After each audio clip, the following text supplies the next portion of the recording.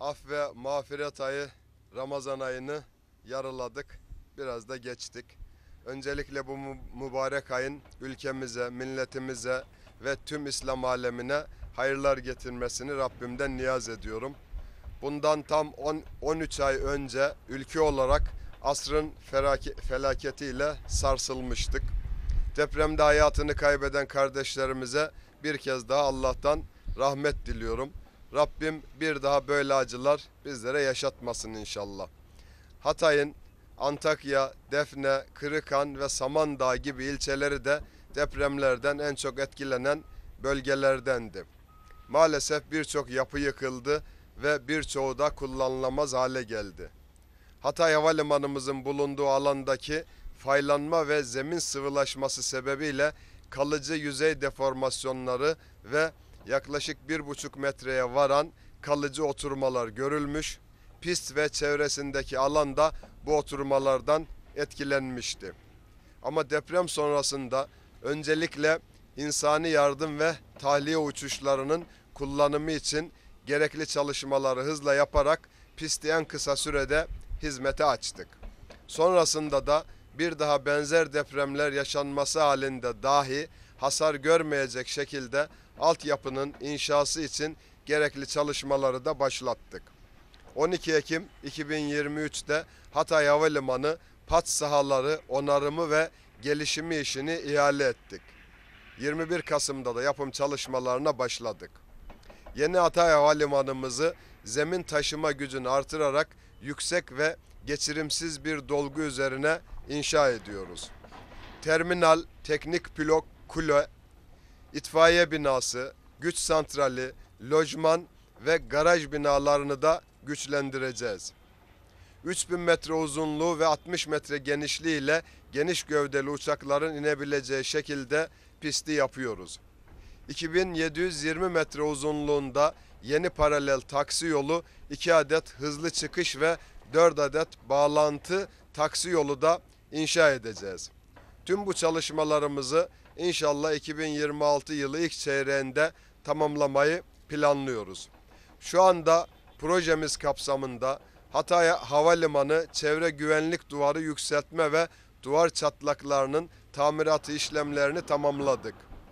Yeni pistimizin inşası aşamasında 14 kilometre uzunluğundaki çevre güvenlik duvarını yeniden inşa ederek havalimanının bulunduğu alanı taşkınlara karşı da korumuş olacağız.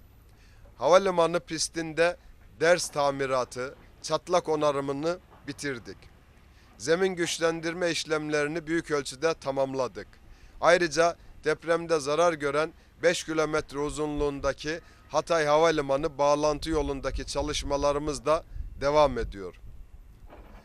Ulaştırma ve Altyapı Bakanlığı olarak 2002 yılından bu yana Hatay'ın ulaşım ve iletişim altyapısı için 50 milyar lira yatırım gerçekleştirdik.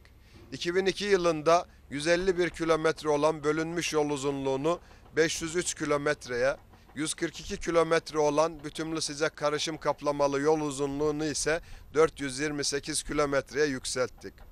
Hatay'a alternatif ulaşım altyapısı kurma açısından önem arz eden dört yol hassa arası otoyol ve demiryolu tüneli projesi ihalesini geçtiğimiz Ocak ayı içerisinde gerçekleştirdik.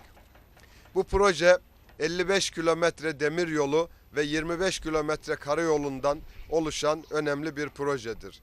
Proje kapsamında Amanos Dağları'nın altından bir tane 20 kilometre uzunluğunda demiryolu tüneliyle 55 kilometre tek hat demiryolu ve 25 kilometrelik güzergahta 2 adet 20'şer kilometrelik otoyol tüneli inşa edeceğiz.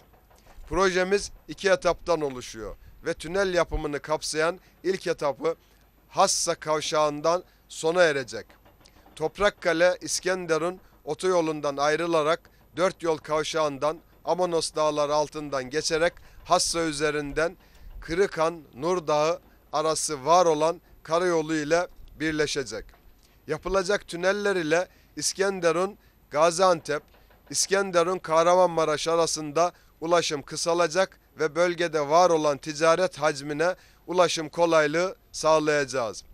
Bu projeyle halen Amanos Dağları'nın kuzey ve güney ucundan sağlanan Güneydoğu Anadolu bölgesinin ve Kahramanmaraş bağlantılı Doğu Anadolu bölgesinin ulaşımı Payas Hassa arası olan ve Amanos Dağları'nın orta bölümünden geçerek karayoluyla ulaşım yolu mesafesinde önemli kısalmalar olacaktır.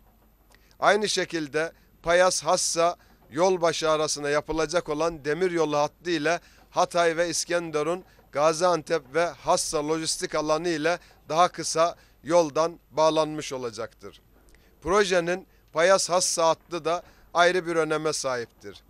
Halihazırda Kahramanmaraş ve Gaziantep'ten gelen yüklerin ve yolcuların Nur Dağı'ndan sonra otoyol yerine Nurdağ Hassa Payas yolunu takip etmeleri halinde ulaşım mesafesi önemli ölçüde de kısalacaktır.